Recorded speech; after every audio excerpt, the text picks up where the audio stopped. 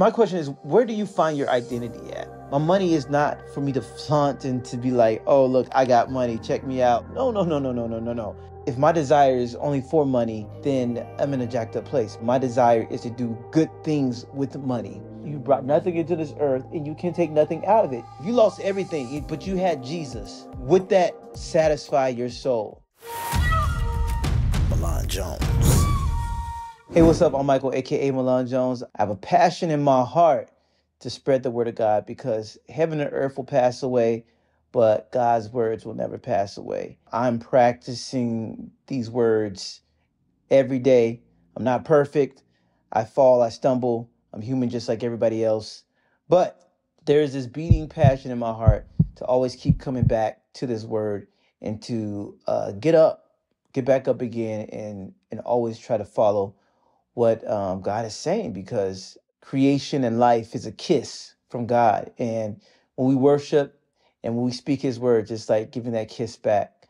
So today I was reading from the Bible in one year, as I often do, and I shared it with my group, our, my worship team, and uh, we we were on day 19. Day 19 was talking about um, the most valuable thing, and uh, the story in there was about a guy named Raj who was pretty much disowned by his family because he professed Christ and he found Jesus.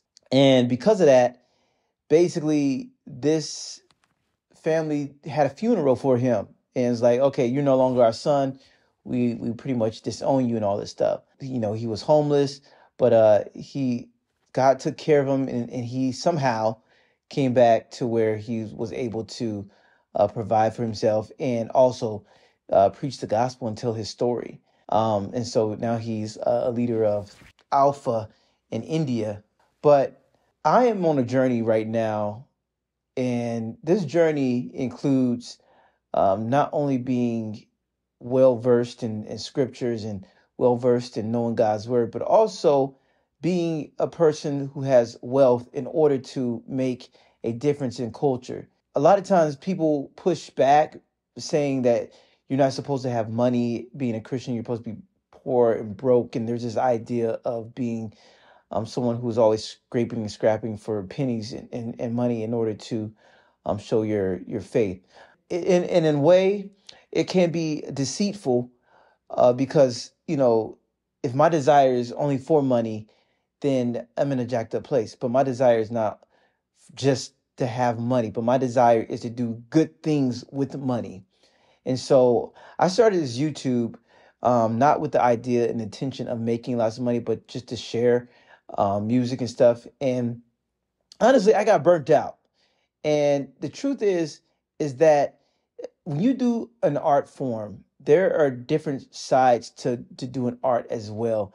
And being financially stable and being financially sound and having your personal finances together is not a sin. It is something that uh, will help aid and keep you from being burnt out. I'm so thankful for my job that I have right now. Um, uh, I say jobs, actually jobs that I have right now. Like I enjoy being a praise and worship leader. I enjoy uh, doing video work and working with um, instructors and teachers and creating video. I have a passion for education as well as uh, create creativity.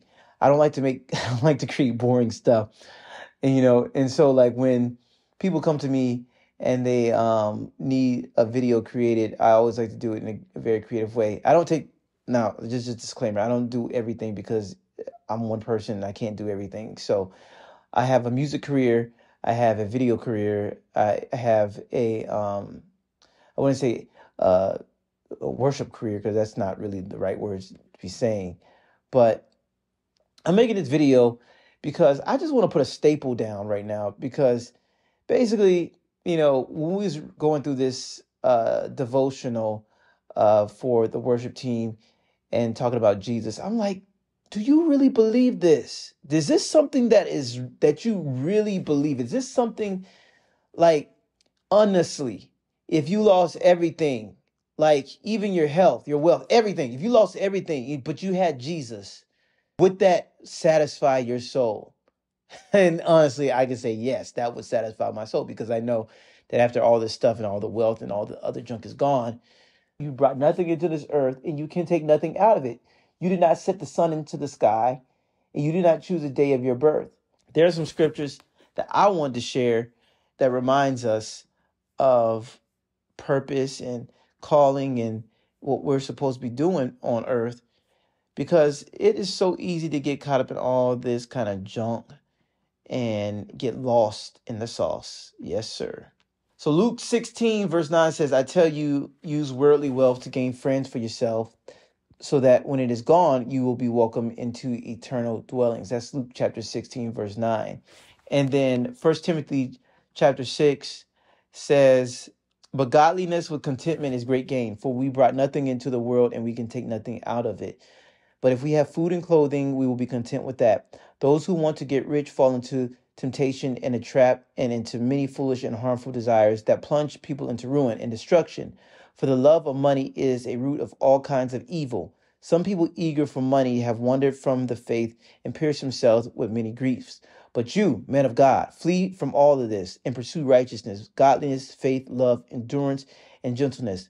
Fight the good fight of faith. Take hold of the eternal life to which you were called when you were made your good confession in the presence of many witnesses. Okay, let me just rewind.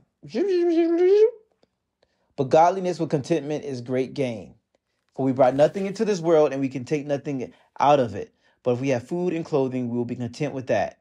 Those who want to get rich fall into temptation and a trap into many foolish and harmful desires that plunge people into ruin and destruction. Okay, my question is where do you find your identity at? Because here's the thing too.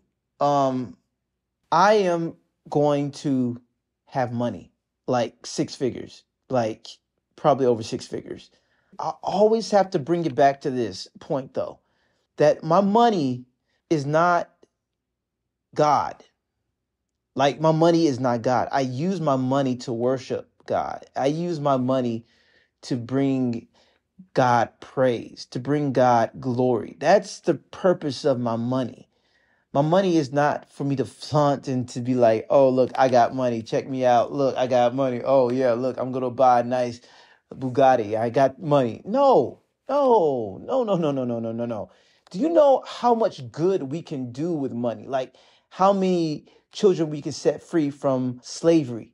How many families we can help have homes? How many, how much good we can do with money?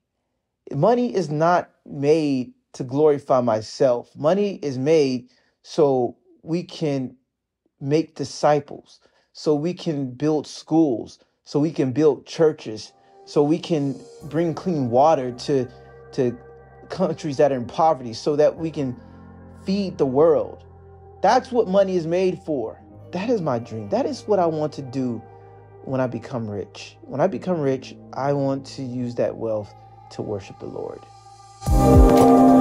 Bye.